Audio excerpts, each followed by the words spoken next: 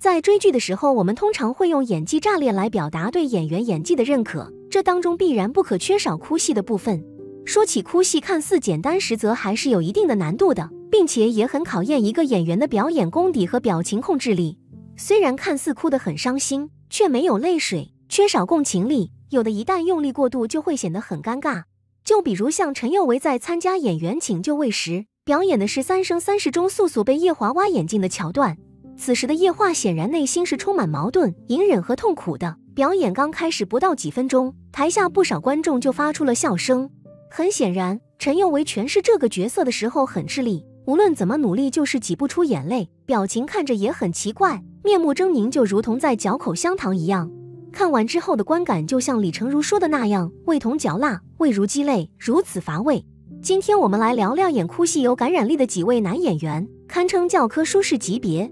一钟汉良在《来不及说我爱你》中，钟汉良饰演的少帅慕容佩林是个有野心、很有霸气的角色，但对静婉却是充满了无限的深情。当慕容峰得知静婉怀孕的消息后，自然是开心到落泪。但是，一想到所谓的江山社稷，为了顾全大局，还是选择了和程锦之联姻。想到这一点，慕容峰毅然决绝地擦干了自己的眼泪，当中的隐忍、不甘和割舍都被钟汉良表达的淋漓尽致。面对慕容峰的背叛，林静婉想尽一切办法逃离了他。当慕容峰找到静婉的时候，直接骗他说孩子没有，瞬间眼眶湿润的眼神中充满了愤怒、悔恨、不舍和悲伤。即使没有泪流满面，也能将角色的心理变化诠释得很细腻。钟汉良的哭戏的确很有感染力。二，王凯，想当年一部《琅琊榜》可是带火了不少演员，王凯就是其中一位。当王凯饰演的靖王得知七万赤焰军葬身梅岭的真相后，一度以为林殊真的没有生还的可能了，瞬间红框了眼睛，充满了绝望。在《大江大河二》中，王凯饰演的宋运辉是个典型的知识分子，性格耿直认死理。王凯在剧中的每一场哭戏也都不同，都是根据角色的性格和处于当时的情境所展现的不同的表演方式。缓缓滴落的每一滴泪水，犹如滴在了观众的心上。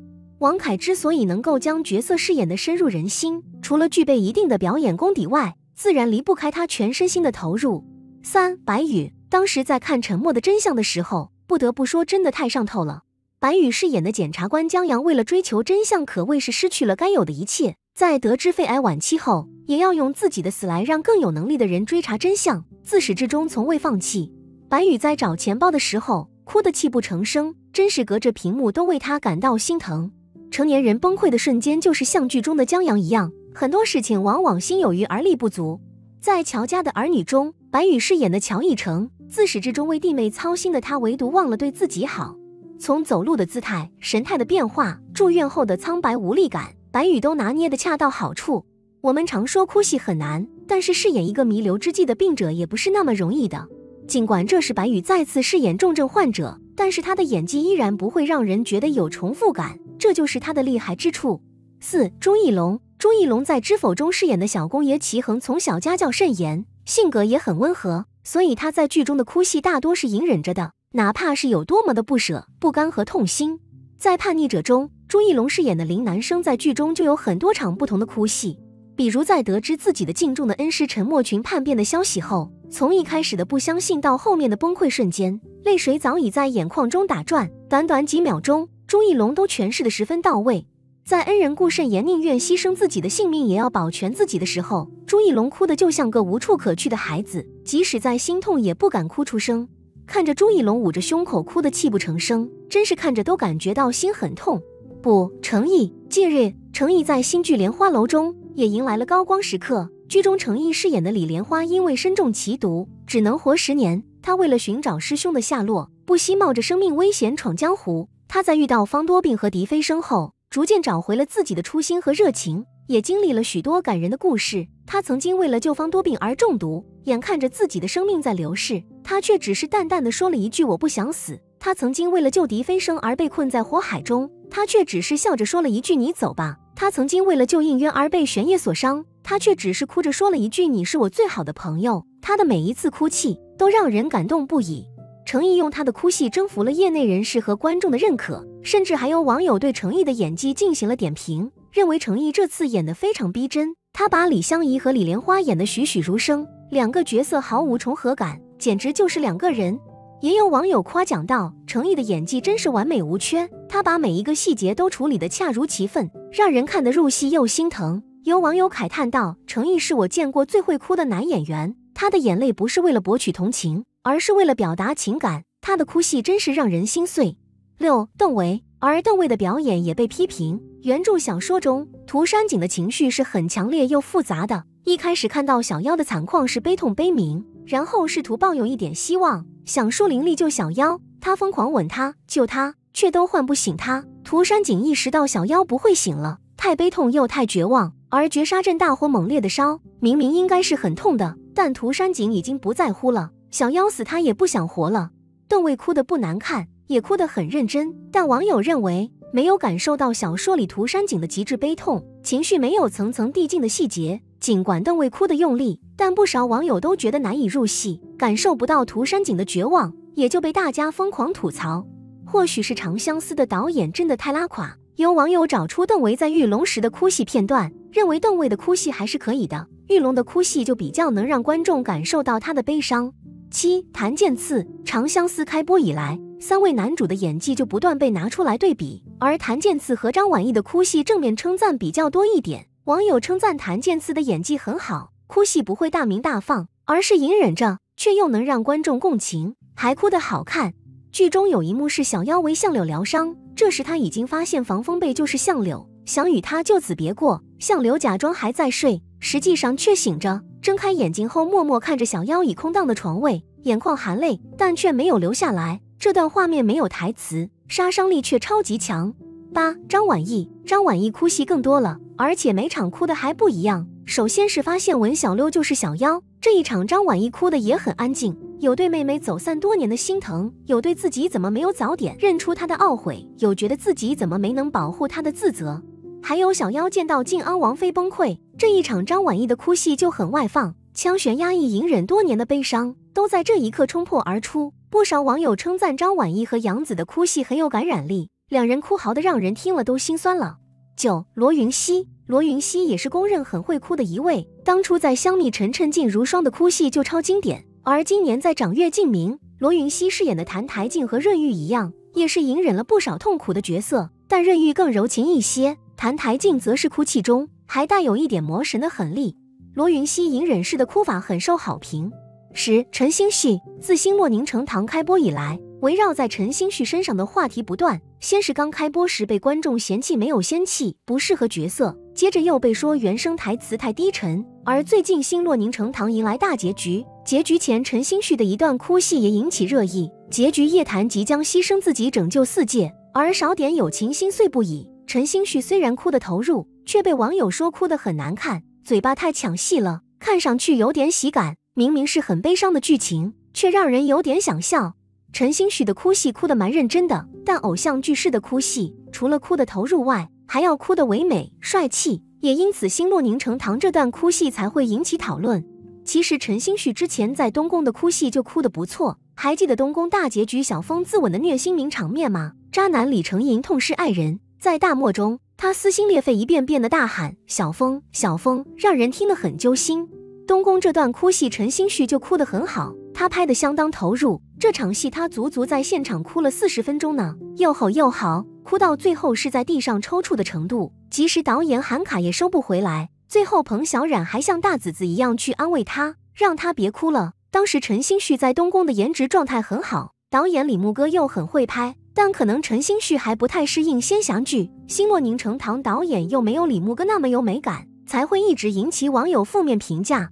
十一，王鹤棣、陈星旭在星落凝成糖的哭戏引起热议后，很多九五后男性的哭戏也被拿出来对比。王鹤棣算是其中哭得还不错的一位呢。王鹤棣先前在《玉龙》一直被认为演技不好，没想到在《苍兰诀》一举洗刷了大家对他的负面印象。王鹤棣在《苍兰诀》的哭戏哭得还不错，有在云梦泽默默落下一滴泪的唯美哭戏，也有最后失去小兰花时撕心裂肺的哭。撕心裂肺的哭法，难免五官会显得狰狞，但王鹤棣没有五官乱飞，而且真的能感受到东方青苍失去小兰花的痛苦。值得一提的是，王鹤棣在《浮屠缘》和《理智派生活》也有哭戏，不过随着角色不同，情绪不同，王鹤棣的哭法也不同。王鹤棣的哭戏都蛮有感染力，而且算是哭得很好看。十二，张凌赫，张凌赫和王鹤棣同为九五后小生，他在《苍兰诀》也一样有哭戏。张凌赫的哭戏很好看耶，张凌赫自带一种破碎感，他哭的时候有一种楚楚可怜的感觉，漂亮的眼睛里藏着泪水，看着女主角的眼神又深情又心痛。说到心碎之处，眼泪就那样哗啦的落下。张凌赫的哭法真的是神仙美男落泪，他哭的会让人怜惜，会让人觉得怎么能伤了他的心。十三，吴磊。吴磊是公认九十五生里的演技前段班，他也是公认超会哭。其实吴磊从小就很会哭，以前在各大影视剧里演小孩角色时，他的眼睛就像水龙头一样，只要一演哭戏，眼泪就哗啦啦的往下掉。长大后开始当男主角，像在《长歌行》和《星汉灿烂》，吴磊就哭得超级帅。《星汉灿烂》后半段，林布一开始复仇，吴磊一身伤痕，眼睛含着泪水，眼泪。张若昀演技愈来愈受到大家的评论，褒贬不一。甚至有人称其为装不下去的星二代，认为他的演技和老一辈的演员陈道明、吴刚有一些差距。骨头里挑刺一，一场吃戏，他吃馒头，拿着馒头只是假装咀嚼。在和二皇子对峙这场戏时，使用了瞪眼、动嘴、皱眉的浮夸演技。瘦了一圈的他，在很多场景面部表情控制不好，让人脱戏。可是，一场哭戏让其演技重获赞赏。作为本剧的第三个一不平，忠臣赖明成被庆帝赐廷杖。当场毙命，范闲为其不平，带着那种不甘心、暴屈、绝望、孤独，一颗清泪滚过脸颊，怦然跌落到手背，好强的破碎感，看得心头一颤。这就是被网友热评的张若昀，好痛一滴泪。这滴泪是张若昀多次揣摩后替范闲流的，也是替历史上无数名臣流的。孤独又多情。回顾五年前，那时的张若昀就很会演哭戏，网友就评价他哭戏好美，梨花带雨，一颤一颤的。感觉他哭戏太好，不够看。会演哭戏的他，可以做到在身临其境的现场进入情绪，三秒内流泪。在参加某综艺节目时，看到妈妈在《爱我一次》这部电影时，他又不自觉地手捂额头，哭红了眼眶。他在《法医秦明》《警察荣誉》等作品中的哭戏，也给观众留下了深刻印象。在观众的心中，一场感人肺腑的哭戏，往往能成为评价一个演员演技的重要标准。然而，真正的演技远不止于此。它是一场全方位的艺术展现，哭戏仅是其中的一抹亮色。张若昀的演技就是全方位的对角色的把握。正如他在采访中所言：“五年了，重回第二季，他是生活了五年，而范闲只是睡了一觉，所以他不能去代替范闲，在范闲这放入自己的五年生活，他要表现出角色超越时代的价值观和亲切感。他反对标签化和公式化的创作，追求更深层次的角色理解和表现。对比五年前的自己。”这次张若昀好痛一滴泪，有了更好的控制。林更新随着《与凤行》的播出，林狗好像是有哭戏牛逼症，不说话的林更新一哭，破碎感直接拉满，内敛隐忍支离破碎，该死的哭戏惹人怜爱，代入感好强。这哥当年以第一名的成绩考进上戏，你可以说林更新长相一般，事业一般，但你不能说他演技一般。虽说林狗的颜值忽上忽下，但演技是一如既往的好呀。不愧是上戏认证过的，谁还没看过《步步惊心》？李若曦躺在十四爷怀里去世的这场戏，泪如雨下又隐忍的哭，真的太有感觉了。拍摄《楚乔传》时，和赵姐抱着久久不能出戏，意难平的何止是我们，也是他们。宇文玥坠湖的刀，一直到《与凤行》播出才得以释怀。《与凤行》有一段是神理和行止的诀别戏，行止死前那一眼，口吐双血，饱含双泪，仅仅是一个眼神。让人懂得了什么是濒死感，既有痛彻心扉，也有释然和不甘，一度让人心疼的想要穿过屏幕抱抱这个破碎的神君。在综艺《王牌对王牌》即兴表演的片段，无实物表演的信念感，从刚开始的不可置信，到慢慢的掩面落泪，情绪依次递进，眼泪刷刷的往下掉，一瞬间心疼到无法呼吸。表演结束，抬起头，满脸泪痕，就好像自己亲身经历一番，感染力好强，看呆了其他嘉宾。终于相信之前林狗说的，我拍哭戏都是一条过。不敢想象，如果林狗年轻时事业心再强点，这得抢走多少的饭碗？九亿少女的梦，看来也是有根据的。三成毅，成毅拿下第三名。成毅是公认古装剧很会哭的一位男星。自琉璃之后，成毅就成为美强惨的代表，每一部古装剧都一路被虐。成毅也贡献了不少哭戏名场面，像是成毅今年暑期档季出的古装武侠剧《莲花楼》。成毅剧中就各种不断花式流泪，有爱人另嫁的难过与释然，有失去恩师的恨意与痛苦。成毅的哭戏有一种脆弱感，眼里饱含满满的情绪，很能让观众代入。四朱一龙，朱一龙的哭戏也很有名，他演过多个美强惨角色，好几部剧都被虐到死去活来。朱一龙的哭戏相当有层次，嚎啕大哭、委屈的哭、隐忍的哭，各种哭法都有变化，不是流水线式的统一哭法。还都能触动观众。朱一龙在《知否知否，应是绿肥红瘦》的哭戏就很经典。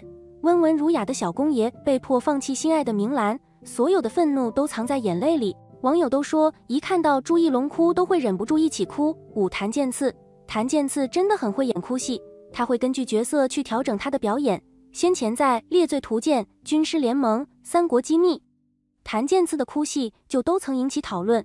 无论是笑着笑着默默流一滴泪。还是近乎疯狂崩溃大哭，又或是黑化后的眼眶含泪，谭健次都哭得触动人心。长相思，谭健次有一幕哭戏也引起热议，剧中小妖为香柳疗伤，这时他已经发现防风被就是香柳，想与他就此别过。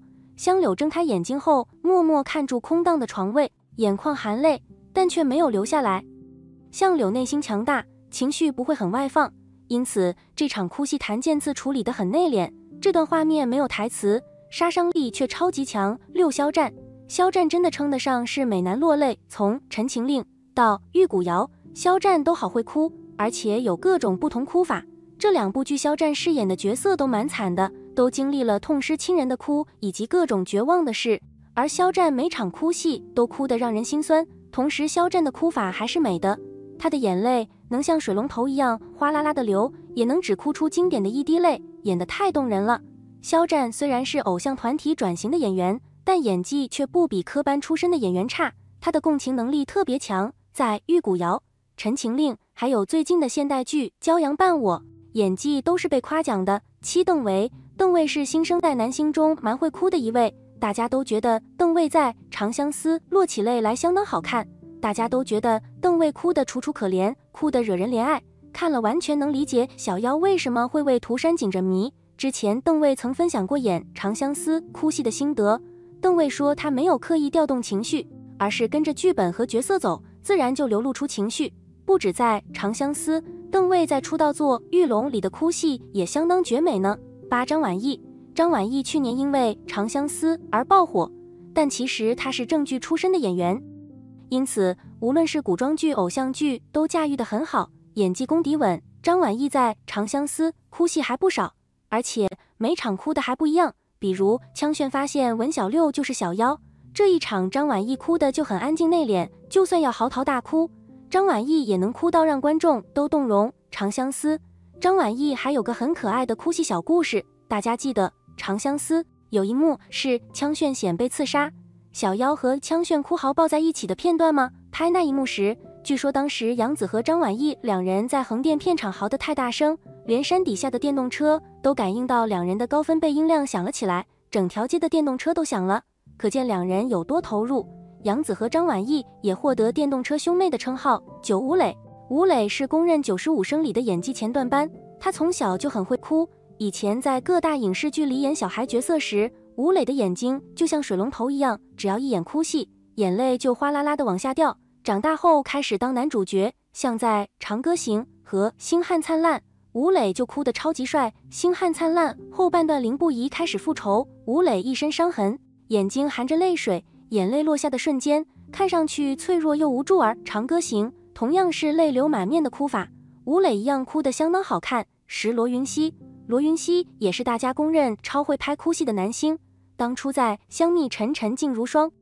的哭戏就超经典，最让人难忘的就是剧里润玉的母亲被杀死和天后决斗的那场，激进于癫狂发疯、撕心裂肺的哭，红红的眼眶含着泪水，眼泪慢慢的落下，眼神里满满的愤怒与悲伤，感染力超级强。而今年在《长月烬明》，罗云熙饰演的淡台烬和润玉一样，都是隐忍了不少痛苦的角色，但润玉更多了一点破碎感，淡台烬则是连哭戏都带有一点魔神的狠力。这两个角色都相当复杂，不好演呢。但罗云熙总能靠着精湛的演技成功塑造角色。